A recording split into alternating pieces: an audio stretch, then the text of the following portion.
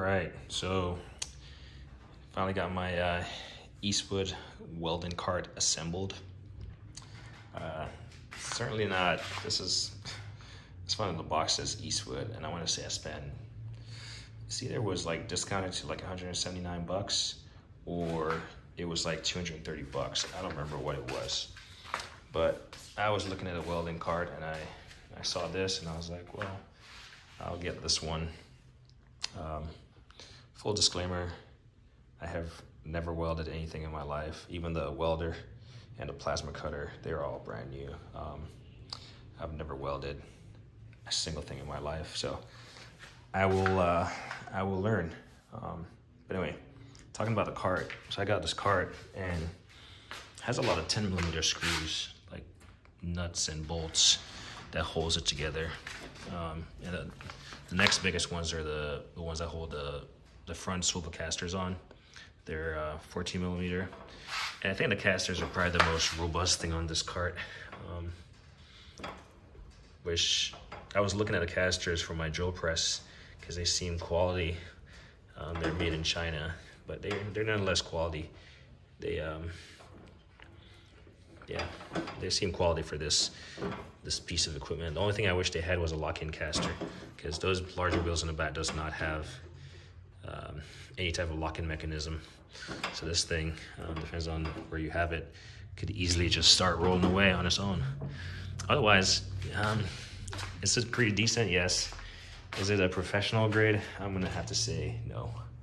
Um, it's just it's certainly not professional grade. And depends on how much you're gonna bang this thing up. Um, you know, it's certainly, I, would, I wouldn't say this is professional grade. It's definitely a DIY grade and it definitely, if you're the type that will take care of your stuff, it will last you a, while. Is it is it gonna hold the largest, you know, welder and plasma cutter? No, because it doesn't even fit this one um, as good. Um, like hanging off the side. It has a little ridge right here that is meant to, I guess they probably have a, a welder that probably fits in between this little ridge and it kind of retains it. Well, this certainly doesn't have that. Well, I would say this is, this Forney is too big for it. Um, so yeah, maybe the price, and the thing about it, it says Eastwood, but nothing on this, it doesn't have a sticker, it doesn't have, it doesn't have anything to signify the brand. Um, so it's clearly just a an item they just threw in a box. Um, yeah, I don't really care, but at least put a sticker on it or something. I don't know. Own it. Um, stand behind your product if you're gonna you're gonna sell it and you're gonna market it as you're gonna market it as your own on the box. Um, and even the manual I think has Eastwood on there. Um,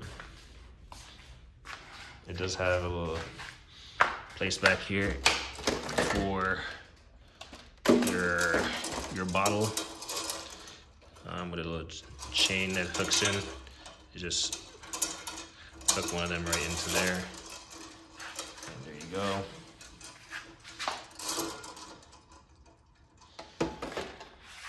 Um, and then obviously you, you would have access to all your connections down here as necessary. It does have two hooks, one on either side. As you can see, I've kind of maxed these hooks out already. Not very much. I might have to put additional hooks on the side um, as necessary. And then you have this handle right here, which honestly, I'm six, six one, and I'm having to lean, bend over to like manipulate this thing. I guess I could hold it by this, but as, as a design, this thing does, I mean, you're gonna have to bend over to cart this thing around. Um, but, I mean, it rolls smoothly. Um, yeah. A quick little talk about, so this is a, I'll probably do a, a separate video on it, but as I become more in tune to welding, but this is a, um, a Forney I believe that's how you say their name. F-O-R-N-E-Y, Forney. Um, they're out of Fort Collins, Colorado. Um, but this is a 220 multi-processor um, welder. Um, and then below there we have a 40p uh, plasma cutter, which it fits perfectly down there. Um, and then I got the manual up there because, like I said, I haven't welded in a day in my life, so uh, I gotta. I mean, you can tell the cap is still on here, all this stuff. I gotta figure out assembly of this and figure out how to kind of function test it and and try to, you know, break some stuff, make some stuff look good, and then learn the process of welding, self-taught. Um, but yeah, I figure I'd go with this brand. Um, no rhyme or reason. I initially had the Lincoln in mind, um, but I saw this and uh, maybe I like the green. uh, so maybe, maybe it's the green that got me. But I've had this for a few months now. I just haven't, like everything else, it's just been chaotic. So I'm just getting around to stuff. Um, so I'll get this far in the assemble process and then I won't touch it for the next two months because um, I don't do this stuff for a living, right? So it's not crucial. I'm not using it day in, day out. Um, what else? I do have a, I did get a, a two or 50 amp outlet and 220 outlet install. And this is a 30 amp, I think, for my um, steam cleaner. But this is a 50 amp for this welder. Um, I believe it's a, it does come with a pigtail adapter for both the I mean, you can see that I have two of them right here. But pigtail adapter for the, you can plug the 220 end in and still have, you can plug it in the 110. But everyone knows that 220 is better um, as far as operating an equipment like this. Um, as far as, uh, I do have a welding helmet. Um, that's just, it's in that closet over there. Um, I do have two, it's not a Lincoln. It's, oh, man, I forgot the name of the, co the company, but it's two fold-in um, welding tables that are about 29 by 29. Um, 29 by 29 inches. So, and they fold up nicely. So we'll see if I actually have them in the garage, but I do have them in my shed currently. Um, at least have a pliers, one of them little pliers. I need to get like a little chipping hammer, something of that sort. Um, but I do have a couple welding accessories that I started collecting in anticipation of, uh, you know, getting into welding. Like, um, if you've been watching my channel, you notice I, um, I try to do a bit of everything. I am a jack of all trade and a master of none. Um, so this is my uh, one of my newest hobbies. And this is also, like I said in the previous video, I'm gonna talk about why this tile floor over, um, you know, any of the hard plastic ones or something, the prefab ones.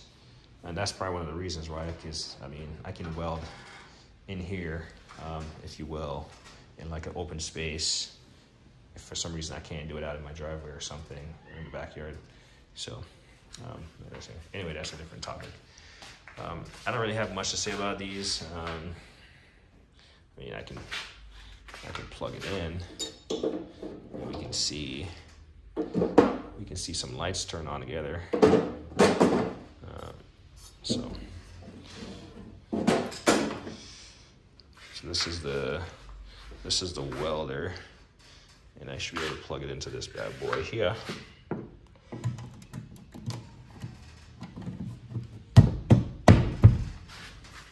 Let's see.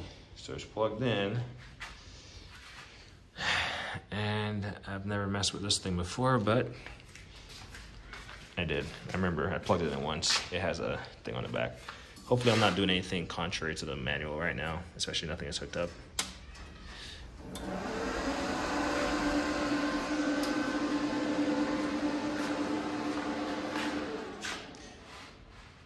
I know, fan goes up, we got VA, Looks like we can change some numbers here. IPM, we can change some numbers here. You got, so here's a, um, here's what it can do. You got DC stick, DC TIG lift, and CV. Ooh, see? Cycling through them. That one causes something to click on. Yeah, so even this button is a little positive feel on it. Yeah, Fort Collins, USA. So, and this is the 410. No.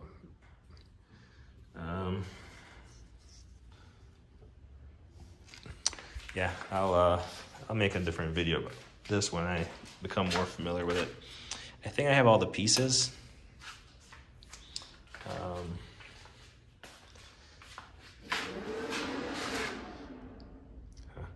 So it has a looks like it has a little delay in there between me turning it off and walking around. You can hear it went through this motion.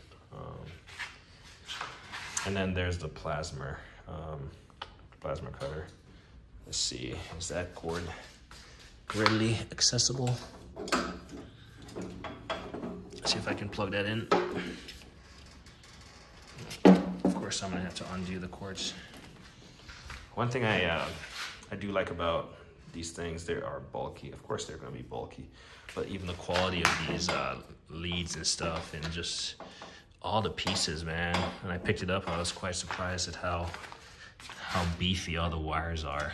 Um, but I'll do another review on this later on. All right, so now this is gonna be the plasma cutter.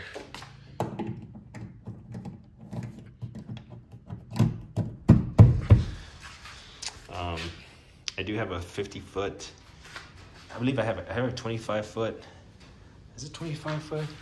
I want to say it's a 25 foot extension. So I am by no means chained to this um, outlet. Uh, obviously, extension um, takes away from stuff, but uh, yeah, I do have an extension that I picked up also. All right, so this is a flow gauge, part of Forney. It looks like. Um, looks like they might have just got their sticker in there, their labeling. And this might be manufactured somewhere else, maybe made in Taiwan. Yeah. You got your your air input and your water separator right here. Let's turn this bad boy on. And run around. Okay, so it came on.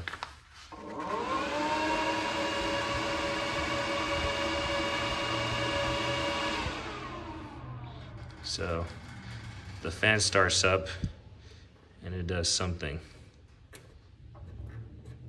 And it does nothing else. Like I said, I haven't read on all this stuff and how it all works, but um, yeah, cool. I'll get to see that in action. Um, and yeah, we'll power it back down.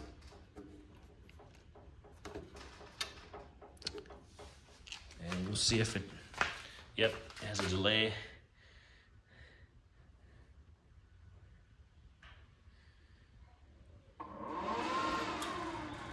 There you go. So, you know just as much as I know about this whole thing.